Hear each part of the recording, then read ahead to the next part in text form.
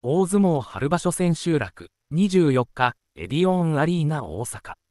東前頭17枚目、孫富士、武富士、24、イコール伊勢ヶ浜イコールが、大正時代の1914年5月場所の両国以来、110年ぶりの新入幕優勝の快挙を達成した。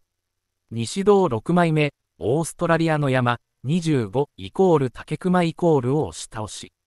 14日目に敗れた1番で右足を負傷。救急搬送されたが、怪我を押して出場し、ただ一人の2敗を守った。初土俵から10場所目での制覇は年6場所制となった58年以降で最速、付け出しを除く。日本相撲協会によると、大井町、大井町を言えない力士の優勝も初めてだという。3賞をすべて受賞するのは0年九州場所の琴光月以来だった。孫富士光木へ、武富士幹也、生まれ1999年4月9日、青森、五所川原市。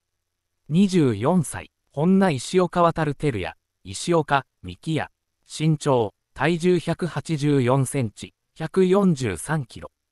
相撲歴保育園から相撲を始め、鳥取城北高、日大を経て伊勢ヶ浜部屋に入門。家族母、兄、弟、妹、野球小学4年生の1年間だけ少年野球チームに所属。ポジションは一塁手、巨人ファン、得意得意は月、推し、出世石岡として22年秋場所の前相撲で初土俵。同年九州場所で孫富士に改名し、序の口優勝。23年初場所で序二段優勝。同年春場所で三段目、同年夏場所で幕下に昇進。24年初場所新十両で優勝。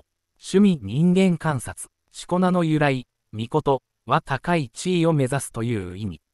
古代神話の英雄、日本武大和武の御事にも由来し、富士は師匠、伊勢ヶ浜親方、元横綱、旭富士の現役時代のしこ名から。